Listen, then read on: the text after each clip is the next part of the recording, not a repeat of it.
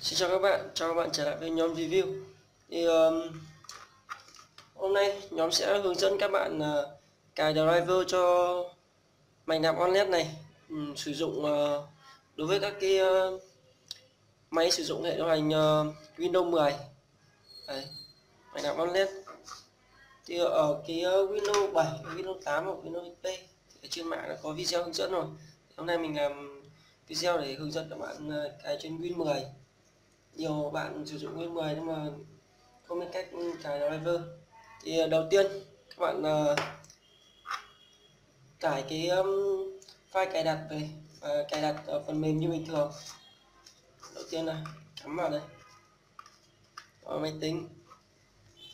Các bạn uh, vào uh, đây cái trình quản lý uh, driver của máy tính này thì hiện tại là ở Win 10 máy nó sẽ hiểu ờ, cái ờ, mạch nạp của mình ờ, mạch nạp OLED này USB serial driver.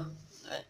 thì đồng thời là khi mình mình bật cái phần mềm để tạo hiệu ứng ra thì nó sẽ không nhận được, không nạp được, không làm gì cả được. Chỉ viết hiệu ứng nó không nạp xuống được. Rồi.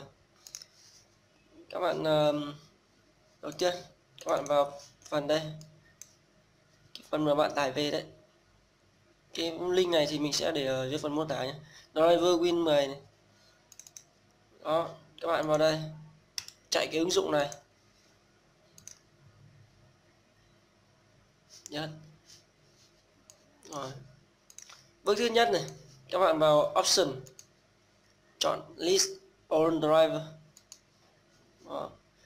thì ở cái thanh này, nó sẽ hiện ra một loạt các cái ờ, thiết bị đầu vào. Thì đây mình sẽ chọn là OLED. OLED này. Và ở cái phần ờ, đây các bạn chọn Live USB Win 32 và nhấn vào Replay Driver. Ok và chờ một lát. Rồi thì uh, máy đã cài đặt xong successful bật cần lâu tắt đi bây giờ các bạn sẽ quay về để kiểm tra. Máy đã nhận chưa? Vào đây. Máy đã hiển thị ra đây. OLED này. Đã nhận ra OLED này. Bật lại phần mềm. Đây. Thì cái ờ, ở cái nút ờ, nạp chương trình này nó đã hiện lên. Đây. thì uh, bây giờ mình sẽ nạp thử một hiệu ứng. Ở đây mình uh, sử dụng cái um, mạch led ờ, 8 kênh 30A có led. Đây này 8 kênh này mình sẽ tạm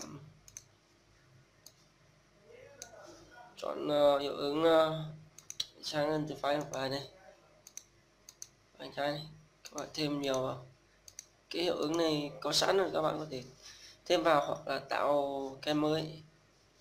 Rồi em vào nạp chương trình này.